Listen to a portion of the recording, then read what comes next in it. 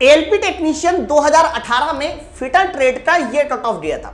आप लोग देख पा रहे हैं, ये हमारे टेक्नीशियन पोस्ट के लिए फिटर ट्रेड के कट ऑफ़ है। बच्चों, आपको मैं बता दूँ फिटर ट्रेड इलेक्ट्रल और मैकेनिकल दोनों में आती है। अगर कट ऑफ़ की बात करते हैं तो जनरल का जो मिनिमम कट ऑफ़ था, वो 40 नंबर था और मैक्सिमम बयासी। मतलब मिनिमम 40 नंबर में सिलेक्शन हुआ था और वो था जोन गुवाहाटी जोन और जो हाई कट ऑफ़ गई थी बच्चों, वो मुंबई जोन की गई थी। इसी तरीके से आप देख पा रहे हैं एससी का मिनिमम तीस उसके अलावा जो है, बात करते हैं इसके मैक्सिमम की तो अंठावन।